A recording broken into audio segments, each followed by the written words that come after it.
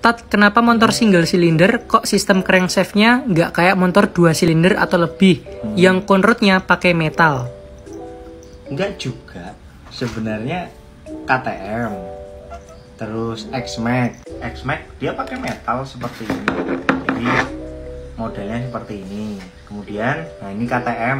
KTM Duke RC 250 maupun yang 390 satu silinder pun tetap menggunakan metal. Memang penggunaan metal pada conrod itu jauh lebih advance ya, baik secara putaran, kemudian secara ringannya dan lain sebagainya jauh lebih banyak keuntungannya. Tapi memang uh, ini tidak didesain untuk eh, motor-motor uh, yang istilahnya heavy duty. Jadi bukan buat speed ya. Kalau memang preferensinya ke performance rata-rata itu pasti pakai seperti ini.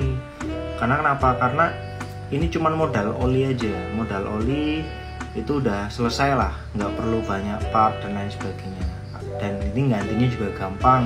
Istilahnya misalkan ini kena itu kita tinggal lepas ininya nanti masukin metal kemudian tinggal masukin setting selesai.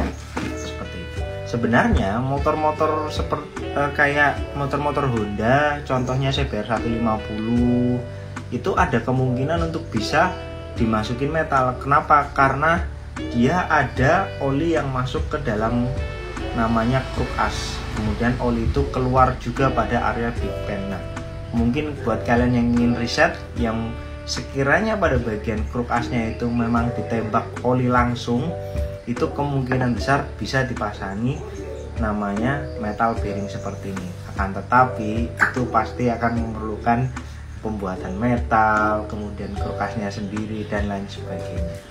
Kan, tapi ini adalah metal dengan putaran ternyata tidak ada bearing yang memiliki batas limit sebuah putaran kecuali metal bearing karena dia hanya dilapisi oli yang artinya hampir tidak ada friksi seperti bearing pada umumnya. Oke, jadi itu buat kalian yang belum tahu satu silinder ada juga.